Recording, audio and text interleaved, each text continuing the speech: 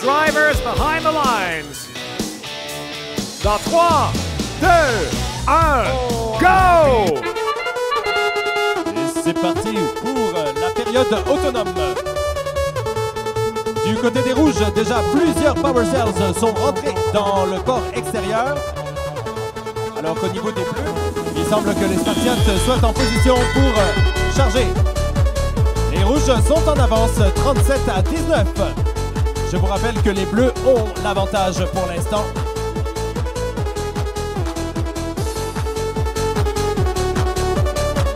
La phase de collecte des cellules d'énergie.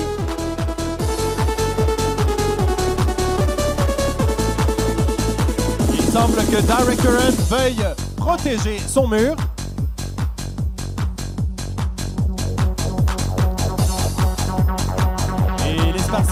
Se posent en position de défense. Tir des Carnica.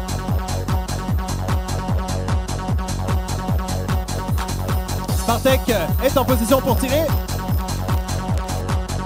Northern Knights is still collecting. Il y a toujours un écart de 37 à 19 sur ce jeu. Oh, une collision entre, Direct Current et Northern Knights. 23 à 37. Et les rouges continuent de marquer. Beau travail des Carnica. Un trio.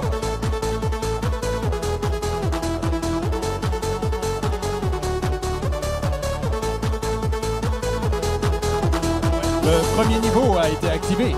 Au niveau de l'équipe rouge, le générateur de bouclier est en marche. Nous approchons de la fin du jeu. Il va être important de rallier le point de rendez-vous central. End of the game, getting to the center of the arena. Les Spartiates sont déjà prêts à s'accrocher.